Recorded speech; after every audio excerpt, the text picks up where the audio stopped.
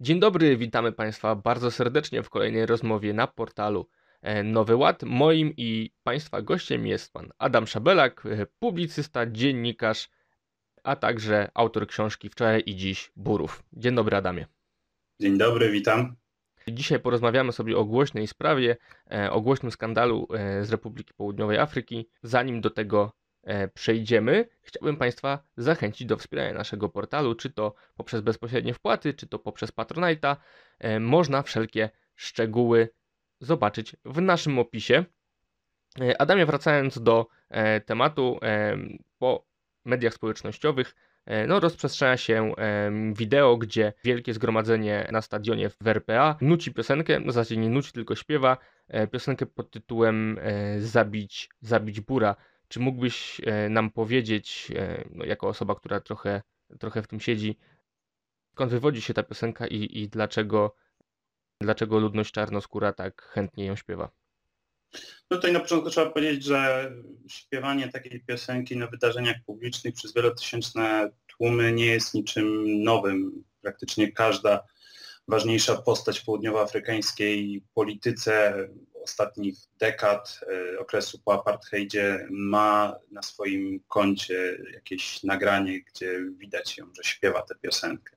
Skąd się wywodzi ta piosenka? Piosenka wywodzi się z czasów e, walki z apartheidem, czyli bojownicy włóczni narodu, zbrojnego skrzydła Afrykańskiego Kongresu Narodowego, śpiewali tę piosenkę, żeby motywować się do walki, co w czasie walki o wolność, o wyzwolenie miało jakiekolwiek uzasadnienie.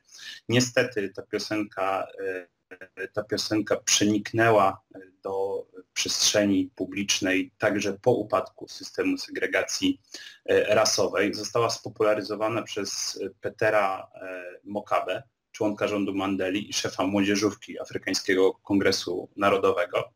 W 1993 roku śpiewano ją między innymi na pogrzebie Chrisa Haniego, zabitego przez Janusza Walusia, e, lidera Południowoafrykańskiej Partii Komunistycznej i przywódcy włóczni narodu, e, który był typowany na, był jednym z typów na następcę e, Mandeli. W tym okresie według wielu kraj stanął na krawędzi wojny rasowej.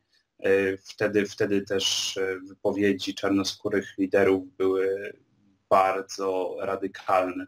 Zdarzały się wypowiedzi mówiące o tym, że, że właśnie y, czarnoskórzy bojownicy szykują się na wojnę i czarnoskóra młodzież powinna się także do tego przygotowywać. E, jednak jak wiemy, Mandela złagodził wtedy, wtedy sytuację. Są badania, z których wynika, że po pierwszym publicznym śpiewaniu piosenki nastąpił wzrost ataków na farmy, oraz popełnionych morderstw, odpowiednio 41% i 135%, e, kiedy to porównamy do średniej, e, średniej miesięcznej za, za cały rok. Jeżeli spojrzymy na charakterystykę przestępczości w południowej Afryce, to widzimy, że po publicznych, przez cały ten okres, tak, po publicznych aktach czy wypowiedziach rasistowskich, takich atakujących białych ludzi, takie właśnie jak śpiewanie y, Zabibura albo wypowiedzi typu, że nie wzywam do rzezi białych ludzi, przynajmniej na razie, Jurusa Malemy, o którym, o którym jeszcze będzie dzisiaj na pewno mowa, y, to widzimy y, taką charakterystykę, że po prostu przestępczość typu mordy na farmach motywowana rasistowsko wzrasta, tak? Więc, więc w ten sposób to w ten sposób to wygląda. Jest taki, też taki charakterystyczny przypadek w 1992 roku e, czar, czarnoskórego człowieka, który zamordował e, jednego z białych farmerów, który później zeznawał przed Komisją Prawdy i Pojednania. Został zatrzymany, zeznawał przed komisją e, i mówił, mówił, że został zainspirowany do tego czynu przez członków Afrykańskiego Kongresu Narodowego, którzy śpiewali o zabijaniu burów. I teraz, teraz tutaj zacytuję go. E, mogłem zabić jakiegokolwiek innego białego człowieka, który wszedłby mi w drogę w tym czasie. Moja frustracja ukierunkowana, ponieważ mieli oni to, czego my nie mieliśmy. I to jest jakby też charakterystyczne e, dla e, obecnej sytuacji w południowej Afryce. Jest, kraj jest w kiepskiej sytuacji gospodarczej, jest trapiony przez kryzys energetyczny, jest wysoki stopień bezrobocia, przeciętna kobieta ma wyższą, wyższą, e, wyż, wyższą szansę na zostanie zgwałconą niż na zdobycie wyższego wykształcenia. E, to jest kraj, e, kraj o ogromnym, ogromnym poziomie biedy, głównie wśród czarnoskórej ludności i to skutkuje frustracją. Są, są politycy, którzy to wykorzystują, szukając kozła ofiarnego, zwalając wszystko na białych ludzi, na rasizm. E, znamy to dobrze, bo e, taka retoryka jest także obecna w świecie zachodnim, w Stanach Zjednoczonych, we Francji. E, no ale w południowej Afryce nabiera jakby zupełnie innej jakości. Tak? Ten, ten, tamten spór rasowy, rasowy też, też ma zupełnie, też, też wygląda zupełnie inaczej niż, niż w Stanach Zjednoczonych, ma inną historię. Jeszcze warto wspomnieć, wracając do samej piosenki Zabij e, Bura. W 2002 roku została, e, była wykonywana publicznie przez, e, publicznie na pogrzebie Petera Mokaby, o którym już wspomniałem, który spopularyzował, spopularyzował ją w przestrzeni publicznej. Po jakimś czasie, po jakimś czasie ta piosenka nabrała nowej jakości jej kariera, kariera nabrała rozpędu wraz z rozwojem kariery Juliusa Malem, od którego rozpoczęliśmy naszą dzisiejszą rozmowę, który był prowodyrem śpiewania na ogromnym stadionie przez tysiące, jeżeli nie dziesiątki tysięcy ludzi e, ubranych w czerwone koszulki jego partii ruchu bojowników na, za wolność e, gospodarczą, wolność gospodarczą, e, śpiewania właśnie tej, tej piosenki. I teraz to, że ona jest wykonywana, że jest śpiewana, to jest jedno. Przez, przez polityków, przez, przez, przez różnej maści populistów. Ale drugie to jest to, jak jest traktowana przez południowoafrykański system prawny. Otóż w 2011 roku została ona uznana przez, e, przez południowoafrykański sąd najwyższy za mowę nienawiści. Wtedy, e, wtedy, wtedy to wzbudziło duże, duże emocje. E, była ta piosenka broniona e, także przez najwyższych działaczy Afrykańskiego Kongresu Narodowego rządzącego w południowej Afryce. Wtedy taka organizacja, organizacja afrykanerska broniąca praw obywatelskich AfriForum, żeby przeciwko temu zaprotestować, złożyła, złożyła w siedzibie Afrykańskiego Kongresu Narodowego w Johannesburgu petycję wraz z listą 1600 nazwisk farmerów, którzy zostali zamordowani, e, zamordowani w czasie ataków na, na farmy w południowej Afryce. I w odpowiedzi e, na to działanie AfriForum działacze młodzieżówki Afrykańskiego Kongresu Narodowego e, listę podeptali i wrzucili do rynsztoka. Widzimy tutaj jakby totalnie, totalnie patologiczną sytuację stosunków społecznych.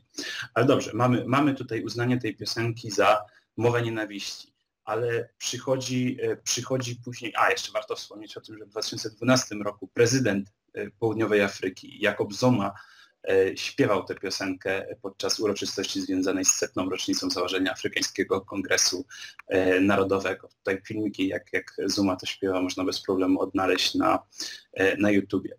I przechodzimy do roku 2019, kiedy Południowa Afrykańska Komisja Praw Człowieka stwierdziła tutaj pozwolę sobie zacytować, bo to jest, e, to, to, to będzie chyba najlepszy wyraz tego, jak, e, jak wygląda tam sytuacja. Sąd w 2011 roku zapewne niesłusznie zastąpił obiektywną ocenę mowy nienawiści na subiektywną perspektywę tylko jednej części społeczeństwa. Sugeruje to, że czarna większość, która rozumiała piosenkę zgodnie z jej przenośnym znaczeniem i historycznym znaczeniem, nie jest rozsądnym słuchaczem, Dlatego też piosenki za mowę nienawiści nie uznała e, e, Południowoafrykańska Komisja Praw Człowieka, która się zajmowała także innymi wypowiedziami Juliusa Malemy, który mówił o tym, to, co już wspominałem, że nie wzywa do rzezi białych ludzi, przynajmniej na razie. To też nie zostało uznane za mowę nienawiści. A żeby było jeszcze gorzej, to w 2022 roku afrykański, południowoafrykański Trybunał Konstytucyjny potwierdził, potwierdził orzeczenie Południowoafrykańskiej Komisji Praw Człowieka, że to nie jest, że to nie jest mowa nienawiści. No właśnie wspominałeś już parę razy o samym Juliusie Malemo. No ta, tą pieśń, którą zaintonował, było to na olbrzymim wiecu partii EFF. E, I chciałem się spytać może o samego Malemę. Mm, kim on jest, jak, e, jakie ma e, w tej partii mm, koneksje, jak bardzo ważną jest postacią na scenie politycznej RPA? Julius Malema urodził się w 1981 roku. Był, był wychowywany w biednej rodzinie przez samą, samą matkę podczas rozmowy z BBC wyznał, że do Afrykańskiego Kongresu Narodowego dołączył w wieku 9, 9 lat. E, I cała jego młodość, całe jego życie jest e, naznaczone piętnem e, poczucia niesprawiedliwości ze strony białych ludzi ze względu na swoje pochodzenie społeczne, ze względu na swoją sytuację materialną. Jest urodzonym działaczem politycznym, urodzonym politykiem. W 2000 2008 roku został liderem e, południowej młodzieżówki e, Afrykańskiego Kongresu Narodowego e, i był nim aż do wydalenia z partii w 2012 roku. Wydalenie miało wiele, wiele powodów. To było, były rozgrywki wewnętrzne, było, były kontrowersyjne wypowiedzi Malemy, było, była, była pewna niefrasobliwość, nietrzymanie się dyscypliny. E, I po tym, jak Malema został wydalony e, z, z partii, w 2013 roku założył swoje, swoje własne ugrupowanie, czyli Ruch Bojowników o Wolność Gospodarczą, Economic Freedom Fighters, EFF. Partia, partia praktycznie z marszu w 2014 roku weszła do parlamentu zyskując około 6% poparcia i od tego czasu, od tego czasu jej poparcie stale, stale rośnie, chociaż w ostatnim, w ostatnim czasie lekko, lekko spadło. Tak? Popierają ją głównie młodzi, czarnoskórzy mężczyźni mieszkający w dużych miastach. W ten sposób to, to wygląda. Taka, taka jest jej baza, baza społeczna. Sam Malema jest postacią, e, jest człowiekiem o, e, oskarżanym o faszyzm, mimo e, o typie charakteru bardzo autorytarnym. Jego partia jest partią wręcz wodzowską nie znosi sprzeciwu, e, wszelkie, wszelką opozycję w partii e, wycina, e, wycina bez skrupułów. To zaowocowało między innymi powstaniem ruchu, ruchu Black First, Land First, który podnosi podobne postulaty co ruch bojowników o wolność gospodarczą, no ale jest, jest ugrupowaniem opozycyjnym, tak? Po prostu, po prostu e, byli, było kilku działaczy, którzy miało także pewne ambicje, no i zostało wyciętych, e, wyciętych przez, e, przez Malemy. Więc jeśli chodzi o samą, samą postać Malemy, to może, może tyle.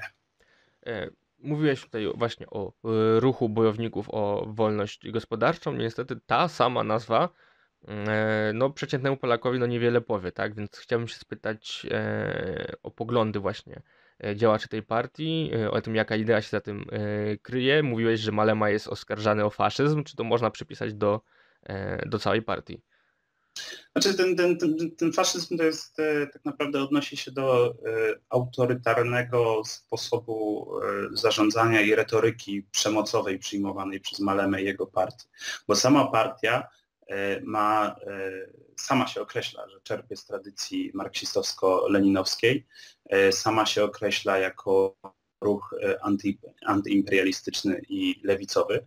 E, tak więc jest to, jest to ugrupowanie komunistyczne, rewolucyjne, które dąży do radykalnego przeobrażenia stosunków społecznych w południowej, południowej Afryce. Tylko tutaj warto też podkreślić, że ten komunizm e, południowoafrykański różni się od komunizmu, który my znamy, od tego komunizmu, e, nazwijmy to klasycznego. Komunizm klasyczny opierał się na, e, na walce klas, tak? Tam klasa była wszystkim, cała, cała myśl opierała się na analizie, na myśleniu w kategoriach klasowych. A jeśli chodzi o afrykański, afrykański komunizm, tutaj w tym przypadku południowoafrykański, ale to też ma odniesienie do szersze, tak? To, to jest, to jest specyficzne dla, dla e, ruchów e, afrykańskich komunistycznych, że on łączy ze sobą e, pojęcie walki klas i walki, walki ras. Jest to połączenie klasizmu z rasizmem. Przy czym, przy czym w przypadku ruchu bojowników o wolność gospodarczą myślenie w kategoriach rasy ma, no często dominuje po prostu. Przy czym no, to też jest tak, że w południowej Afryce biali są wciąż przeciętnie bogatsi, e, lepiej sytuowani, lepiej wykształceni i tak i tym podobne. E, więcej, więcej posiadają, posiadają ziemię, posiadają pieniądze, tak? E, no i to budzi frustrację, to budzi frustrację, dlatego, dlatego ruch bojowników o wolność gospodarczą oskarża białych właśnie o to, że są źródłem zła w południowej Afryce. Tutaj były, były takie wypowiedzi Malemy w parlamencie w, w, roku, w roku 2017, jeżeli się nie mylę. Mówił o tym, że biali ludzi, przepraszam, tak, w 17, który mówił o tym, że biali ludzie, ludzie przybyli do południowej Afryki i ukradli ziemię. Nazwał, nazwał ich po prostu złodziejami. E, okazji proponując wywłaszczenie ich z ziemi bez rekompensaty, co też wzbudziło w południowej Afryce bardzo, bardzo, duże, bardzo duże emocje. E, tak więc w ten, w ten sposób to wygląda. Sama, sama, samo ugrupowanie, tak, tak jak już e, wspomniałem, e, w 2014 roku zyskało 30% głosów, w 2019 roku poprawiło swój wynik do około 10% i w ostatnich, teraz będą wybory w 2024 roku, E, no i można powiedzieć, że to poparcie nie wzrosło, nie spadło. E, utrzymuje się mniej więcej na stałym poziomie, e, ale co jest bardzo ważne, poparcie Afrykańskiego Kongresu Narodowego, który od początku nowego państwa rządził samodzielnie, po raz pierwszy było to około 45% w poprzednich wyborach było, było to poparcie rzędu 57,5%. E, tak więc po raz pierwszy Afrykański Kongres Narodowy może mieć potrzebę dobrania sobie koalicjanta po wyborach. Tutaj na popularności zyskują e, partie typu e, Zuluska Partia, Partia Wolności Nkatha, czyli Partia Zuluska przeznaczona dla Zulusów, Partia Afrykanerska, czyli Front Wolności, e, delikatnie poparcie zyskuje Sojusz Demokratyczny, Partia Liberalna, e, ale ciągle, ciągle ten Afrykański Kongres Narodowy jest dominujący, to jest już typowa partia władzy, bardzo skorumpowana, e, co, co widać, widać na, jej, na jej spadku poparcia, ale to, że, że w tej chwili w ten sposób no, tak zaistniała e, sytuacja, no to stwarza ryzyko, że e, ruch bojowników o wolność gospodarczą e, po prostu zyska dużo większy wpływ na władzę i będzie mógł żądać realizacji swoich najbardziej radykalnych postulatów, mimo że formalnie EFF występuje przeciwko Zoomie, przeciwko Afrykańskiemu Kongresu, Kongresowi Narodowemu. Mówiłeś już trochę o o tym, w jaki sposób e, między innymi EFF odnosi się do ludności białej, do Afrykanerów. Więc chciałem się Ciebie spytać, jak w takim środowisku właśnie ta ludność biała funkcjonuje. Można tylko podejrzewać, że sytuacja, w której e, jedna z większych partii e, wzywa do, do morderstw na tle rasistowskim, może utrudniać po prostu funkcjonowanie tej społeczności. Afrykanerzy generalnie po upadku apartheidu wycofali się y, z życia publicznego jako, y, jako y, przestali konkretne ambicje, ale to się zaczęło zmieniać wraz z tym, jak zaczęła, zaczęła się pogarszać sytuacja w, w południowej Afryce. I Afrykanerzy z jednej strony mają swoje, jako, jako naród, mają swoje przedstawicielstwo polityczne w postaci Frontu Wolności, który właśnie przede wszystkim definiuje się jako partia afrykanerska dążąca do realizacji afrykanerskich interesów, ale z drugiej strony y, przede wszystkim nacisk jest kładziony na budowę alternatywnego społeczeństwa. Tak to chyba należy określić, na budowę alternatywnych struktur do państwa południowoafrykańskiego, które jest po prostu w wielu, wielu wymiarach niewydajne. Tutaj można podać przykład ruchu AfriForum, o którym, o którym już mówiliśmy. To jest największa w Afryce organizacja broniąca praw obywatelskich. To jest organizacja, która zrzesza nie tylko Afrykanerów, ale przede wszystkim Afrykanerów. E, stawia sobie za cel ochronę afrykanerskiego dziedzictwa kulturowego i interesów, e, i interesów tej właśnie tej właśnie grupy. To jest e, już, już około 300 tysięcy, około 300 tysięcy ludzi. No to jeżeli Afrykanerów, Afrykanerów będziemy mieli 2-3 miliony, też zależy, zależy jak się jak definiować tę grupę różnicę między, między pojęciem bura, afrykanera, tak, kto, kto, ilu afrykanerów e, ma to poczucie afrykanerskości, ilu afrykanerów dąży do e, jakiejś niezależności e, w, w, ramach, w ramach Republiki Południowej Afryki albo w ramach zupełnie swojego państwa. No tutaj, tutaj są kwestie tożsamościowe, no ale, ale i, tak, i tak te liczby są imponujące. Tak? E, to, ilu, ilu Afrykanerów się angażuje. Związek Zawodowy Solidarność, kolejne setki tysięcy ludzi razem z rodzinami, miliony zrzeszonych w ramach, w ramach tego związku zawodowego. Afrykanerzy tworzą swoje uniwersytety, tworzą swoje media.